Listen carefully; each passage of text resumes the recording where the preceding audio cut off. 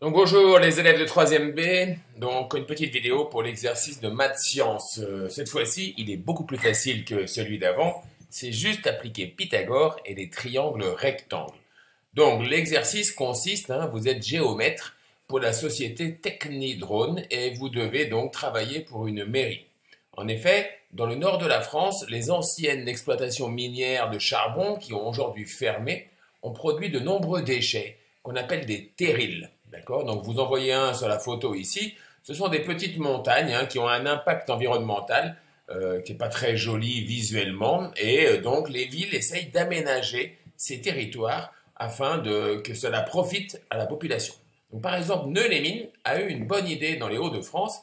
Ils ont fabriqué sur ce terril, comme on le voit ici, une piste de ski artificielle.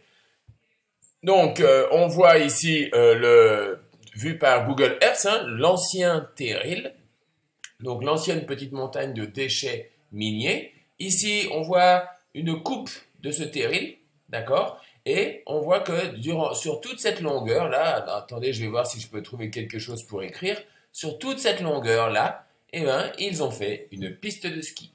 L'idée, c'est que la ville de Los Angeles veut faire la même chose, sauf qu'évidemment, ils n'ont pas tout à fait le même terril. Donc on se pose la question, est-ce que cette longueur-là permettrait de faire une piste de ski aussi longue que celle-ci? Donc pour cela, eh ben, il faut rechercher un triangle rectangle et calculer la longueur de l'hypoténuse. Donc j'imagine qu'en troisième, tout le monde sait faire ça. Si vous ne savez pas, ben, vous nous écrivez, puis on vous aidera. Allez, bon courage. Donc ce travail, il est à faire pour la prochaine fois, évidemment. Au revoir.